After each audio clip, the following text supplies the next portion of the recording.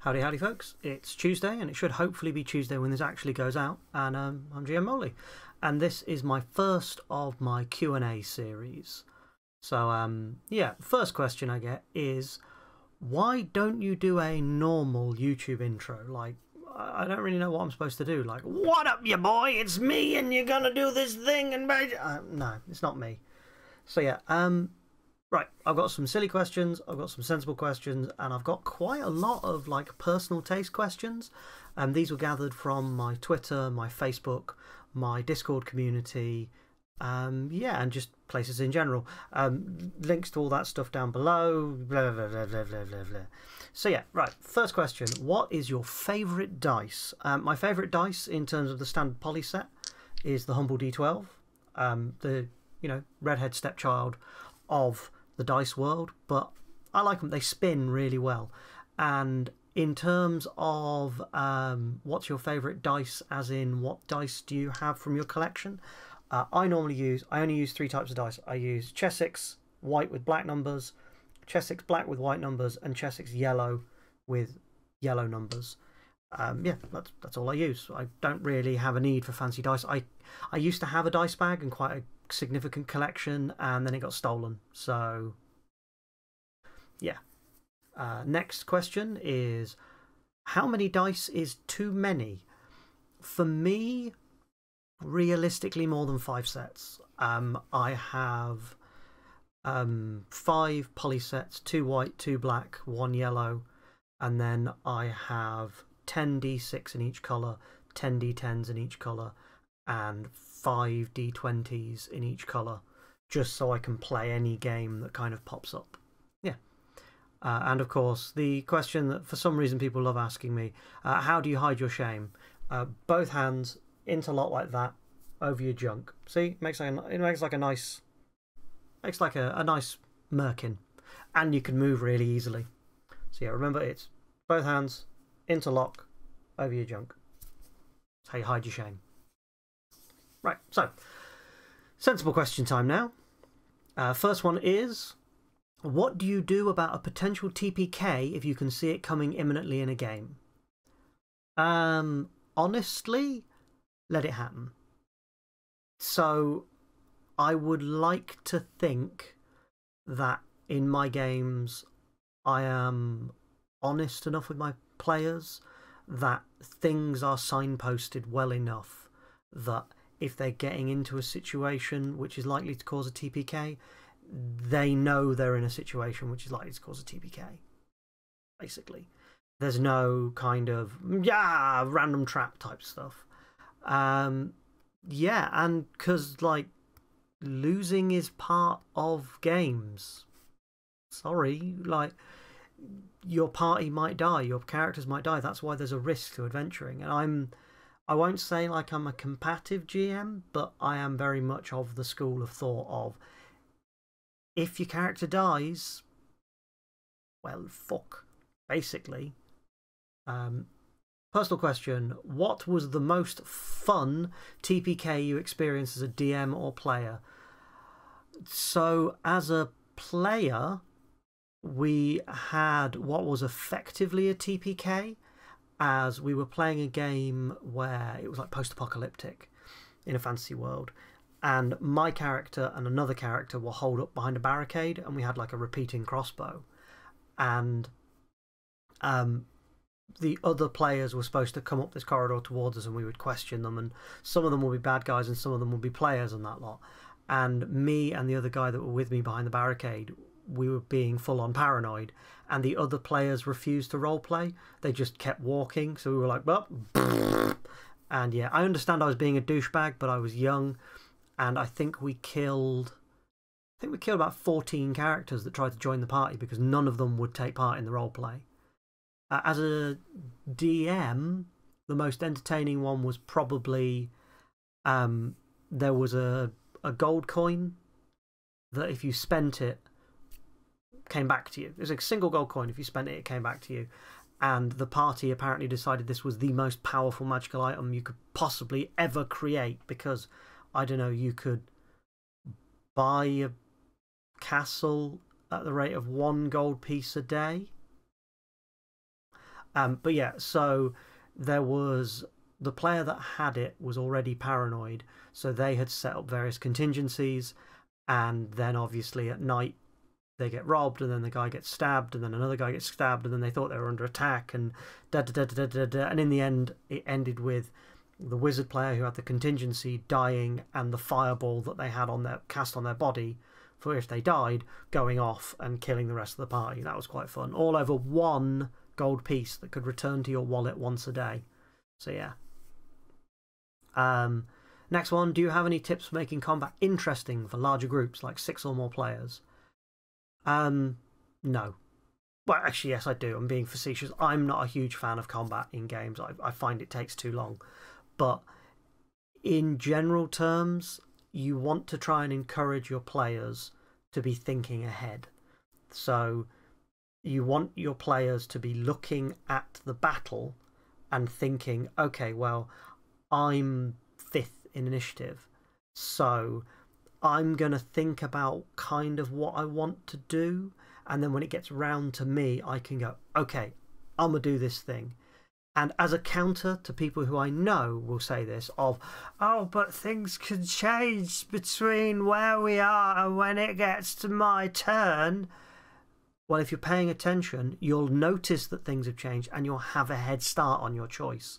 I am honestly convinced that there are players that I have run games for that as soon as I look away from them and I start talking to another player, they just go,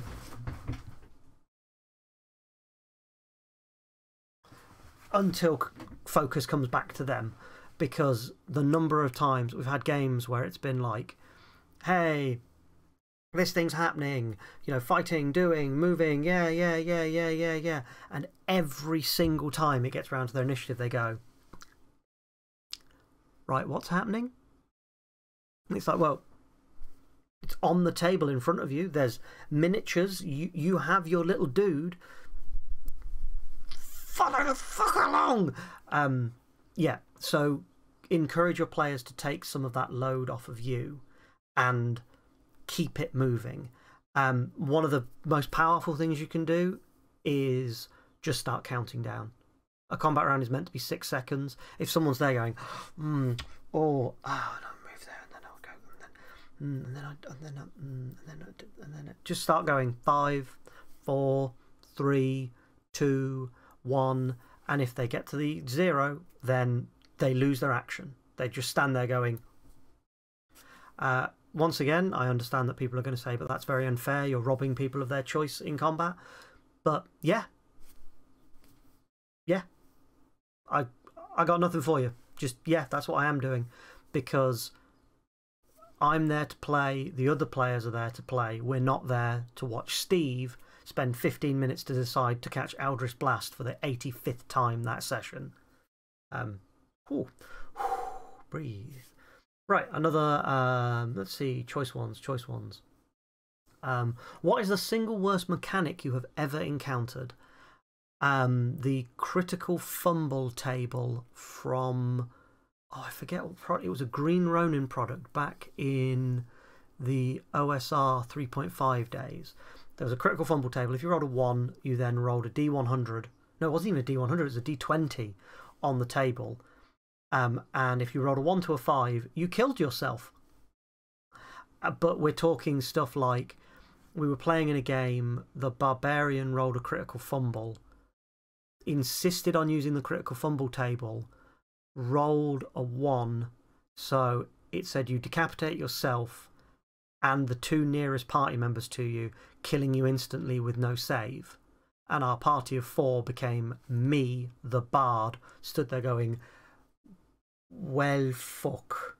Um, yeah, I hate those type of lol random tables, but the players I was playing with at the time loved them. So, yeah, um, yeah, that's probably the worst one. Critical fumble tables which have like fatal results for players and stuff. Yeah, just just miss me with that. Um, next one, uh, tips for making completely new players feel welcome and integrated into a group of more experienced players.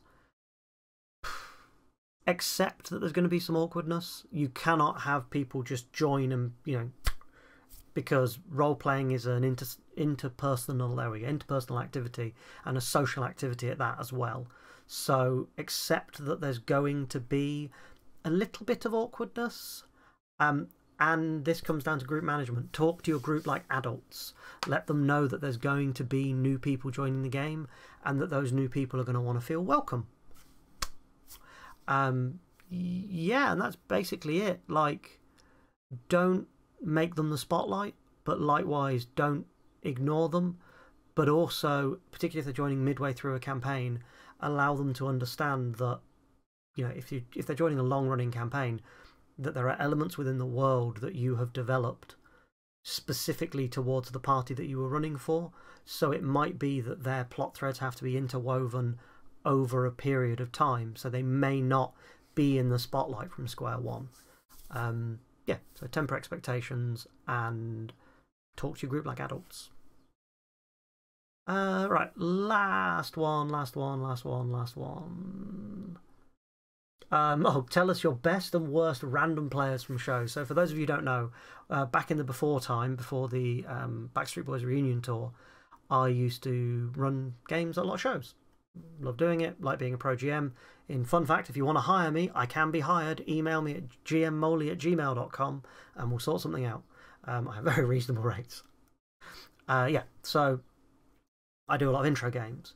Probably my best player I ever had, and it, sounds ridiculous, but it was. So there was a dad with his son who was, I think his son was about 10, 10, 11. And like his son was the standard proto nerd. Like he'd just discovered Pratchett. He'd just discovered Dungeons and Dragons.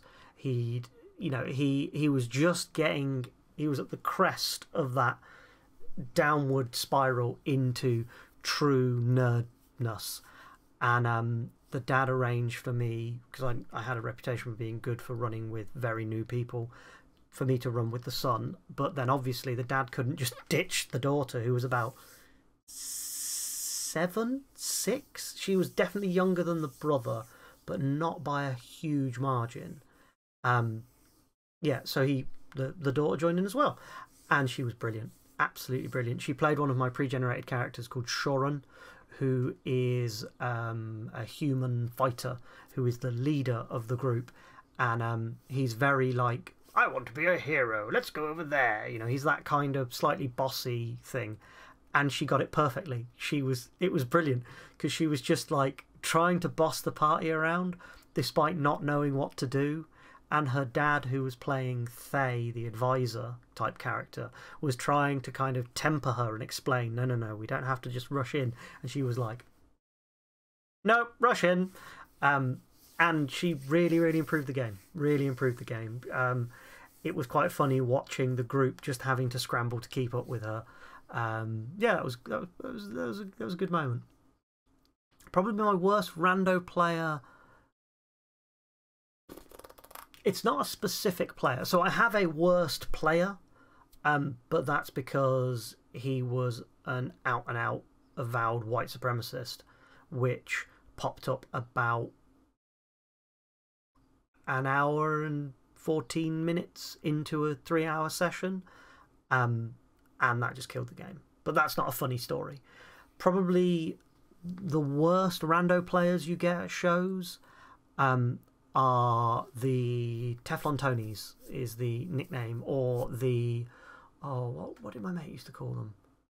The Elastic Ernies, which are players who refuse to engage with anything. They just, no, everything is at arm's length. I'm always safe. I'm always stood in a corner. I'm always up against the wall. I'm always 10 foot pole. I'm always in the other room. I don't talk to anyone. I don't look at anything. I don't. Everything is the most defensive possible thing they can do until there's loot. And then they just. And they're immediately where the loot is. Um, you get a lot of those, a lot of them at shows. And some of them will catch on, um, particularly if you phrase it to them like, hey, imagine this like a movie, imagine this like Star Wars. But some of them just never do. And it can really drag a game down because you've got this character who, particularly if you're running like a newbie game, you're talking about a group. I tend to pre generate characters so that each member of the party has a thing they do. So, you know, this guy can do this, but then the other two people on the spoke shore up what they can do, but without them, it's more difficult. And, you know, if you're unlucky and it's the, the fighter, say, that gets the Teflon Tony, then you've got their frontline fighter who refuses to engage in combat at all. Um, yeah, and you get a lot of them. You get a lot of them. I'm get. I'd say probably on an average show, I will run between six and fifteen games over the course of a weekend, and I reckon probably every third, yeah, maybe third or fourth game, you'll get one. Um, and yeah, it's just they're not bad. Like they don't ruin the game but they do make the game more difficult, and quite often other characters can become resentful. And if you try and call them on it, their usual line is, Well, that's just how I play games. And so, yeah. So, um, thanks for people who sent in questions. Uh, I have some questions that I didn't. Uh, that way, sorry. For some reason, my camera's backwards. I have some questions that I didn't answer. Um, so there'll be another one. When's my next Q&A? It's going to be next month sometime. Um, so yeah, so the next time I upload a video on a Tuesday, that'll be a Q&A. If you have any more questions, leave them down below or join one of the communities, Discord, Twitter, Facebook, whatever, and ask away there. I'll generally answer most questions. This is just collecting some to be able to answer them on, on video. My next video is going to be up on Friday. Ah, and Friday is going to be a little bit different. Friday is going to be actually playing games. So I don't know if I'm going to be recording footage of like a digital RPG or if I'm going to be running a game with someone. It depends on how um, schedules and timescales link up. But Friday is when the next video will be going up. So yeah, um, thank you for watching. Like, favourite, subscribe, bell, um, join things, be nice, back my Patreon. Black Lives Matter, trans rights are human rights. Don't mess with statistics. Understand how numbers work. Keep having fun and keep being awesome. Yeah. Bye bye.